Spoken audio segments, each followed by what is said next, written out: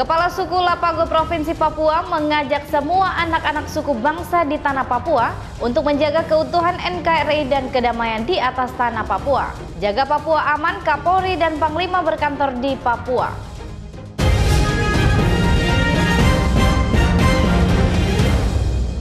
Selamat siang pemirsa, sejumlah berita dan informasi telah kami rangkum dalam redaksi iNews Papua hari ini. Bersama saya Priscilia, mari kita simak berita selengkapnya.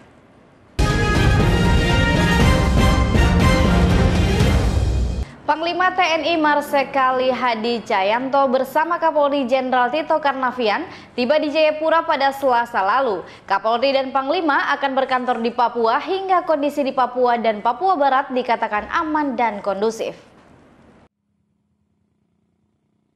Panglima TNI dan Kapolri dijadwalkan tiba di Timika Rabu lalu.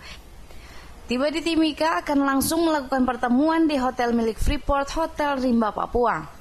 Kapolres Mimika AKBP Agung Marlianto mengatakan, kunjungan Panglima TNI dan Kapolri beserta rombongan ingin mendengar secara langsung aspirasi dari masyarakat Papua.